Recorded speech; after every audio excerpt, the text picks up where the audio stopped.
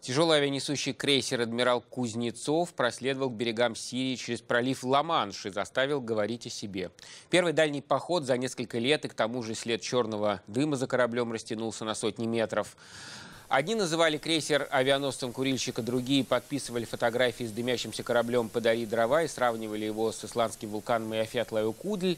Люди противоположных взглядов писали, что авианосец напугал Запад и НАТО истерит. Адмирал Кузнецов отправился в поход из Североморска на Кольском полуострове 15 октября.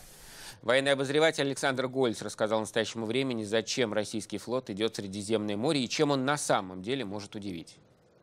В Советском Союзе, поправьте меня, если я не прав, флот использовался для поддержания жизнедеятельности атомных подводных лодок на случай ядерной войны. А что сейчас вдруг случилось? А в связи с войной в Сирии надо продемонстрировать, что у нас тоже есть флот. Это для кого он? А, для кого этот корабль заходит в Средиземное море? Есть ли у него цели на территории Сирии, которые необходимо отрабатывать только с применением вот такой, такой группировки? Э, советский военно-морской флот предназначался для защиты наших подводных ракетоносцев.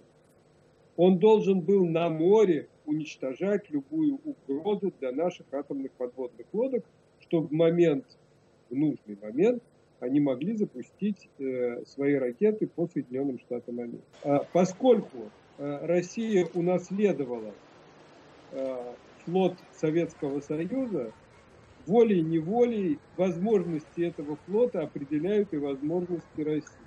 Поэтому э, так уцепились э, в свое время за возможность купить э, э, десантные корабли «Мистраль».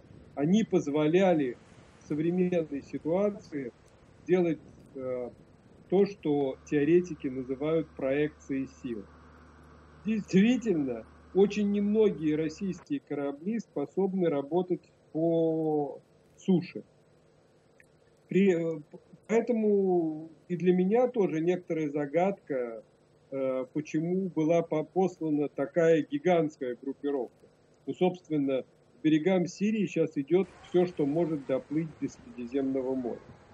При этом, э, собственно, участвовать в военной операции в Сирии могут только адмирал Кузнецов и два малых ракетных корабля. Правильно ли я понимаю, э, если можно коротко ответить на это, э, что для военных специалистов э, все, что сейчас увидят на спутниках и вблизи иностранные наблюдатели военные, а для них ничего не будет удивительным. Ничего нового о российском флоте не узнают, ничем России принципиально не удивит и, видимо, и не собирается.